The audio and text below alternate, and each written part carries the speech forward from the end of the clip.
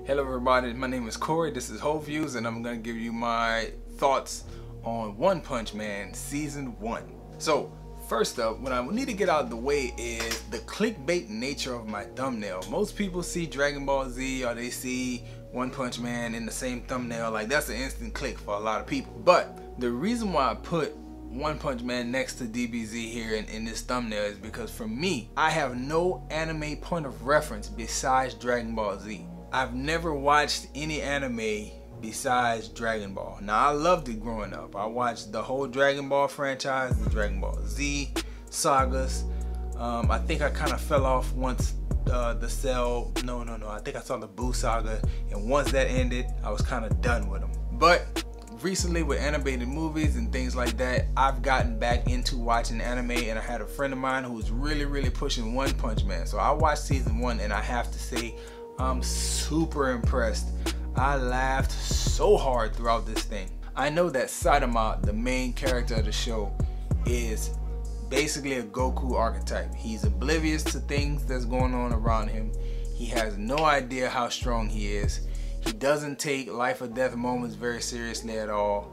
And he's always looking for a good fight. To me, when I see Saitama, I see Goku. One of the things that really stood out to me as uh, Saitama being a real, real strong version of Goku is, is just this line in the like the final episode of season one. Uh, this big boss from outer space is here fighting and giving his all, and he's he's got this long thing where he goes on talking about his full power and Saitama replies with something like, Yeah, you're tough. Cool. I'm like, yeah, yeah, that's that's Goku. Like I can remember watching so many Dragon Ball episodes where Goku would respond to like an attack with, "Oh, you're really strong, huh? This is gonna be a good fight." It's like, like, yep, yep. This is Saitama Goku to me. Even characters, caricatures of each other. Like they are really, really good versions of one another. The main thing that stood out to me about One Punch Man and that made me really, really, really enjoy the show is that it was so funny.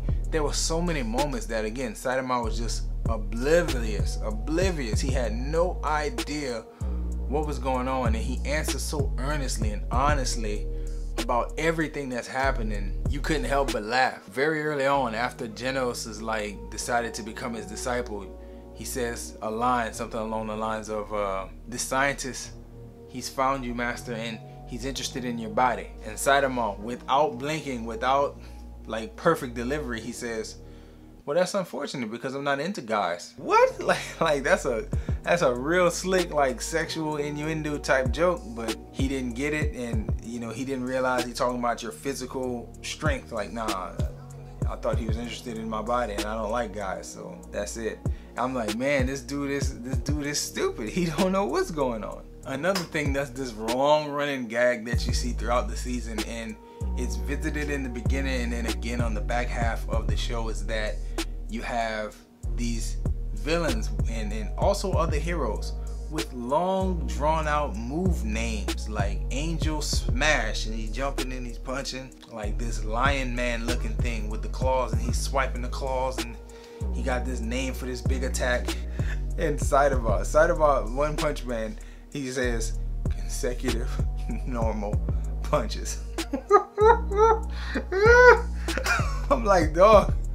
Like everybody else has this big, long, drawn out attack, and he's like, "Oh, you want to get serious? Okay, super serious."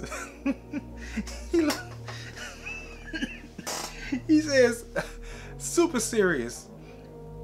super serious punches. And he just does this goofy looking punch and he knocks the guy into a bloody mess.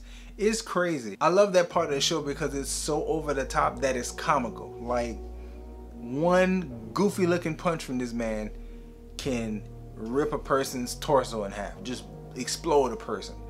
That was crazy to see on on you know on film. The name of that of that punch is just like oh consecutive normal punches. That's all I'm doing here. And he's exploding people. I, I don't know. It was just hell of a hell of a thing to see.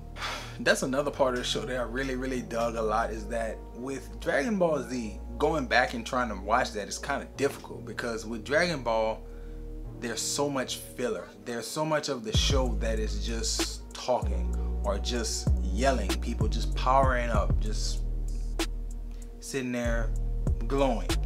And um, with One Punch Man, you don't have that. Like within the first five minutes of the show, I knew that I would be locked in and ready to watch it. Um, because you saw the villain who showed up and did some destruction, and he like morphed into this huge, villainous, muscular, horrible version of himself, and he was ready to go, full form. You know what I mean? Final form. He was ready to fight within 30 seconds. I was like, that's gratifying. We don't have to watch this for three episodes to see him transform into the final phase. And you're not gonna see him sitting there screaming at the screen for 15 minutes like on Dragon Ball. It's Frieza level fights pretty much every episode on One Punch Man and Saitama just deals with him. One punch most of the time. A lot of the time he just dodging stuff and then hit him with that one hitter it's awesome. It was a funny, it was a funny series. Now I will say this, to a person who has no point of reference about this video, you like you follow my page and you see Dragon Ball Z, you see One Punch Man, and you like, what is Core trying to promote? I'm not trying to promote anything to you. If you're the type of person where you have no idea what Dragon Ball is, definitely don't watch One Punch Man. Like that would be way too much to jump into. I feel like at one point, I feel like I'm kind of initiated because I've seen Dragon Ball and I know what anime is. But if you don't know anime and you've never seen Dragon Ball, I don't know if One Punch Man is for you. Uh, if you like this video, please subscribe to this page. If you like this video, please leave a like on it. Uh, please share it if you're watching on Facebook. If you're watching on YouTube, please subscribe. Leave a like and a comment. I deeply, deeply appreciate it. Uh, I will be watching One Punch Man season two, so be on the lookout for that review and that talk about that uh, season of the show coming soon. So enjoy yourself, guard your heart, and thank you for stopping by.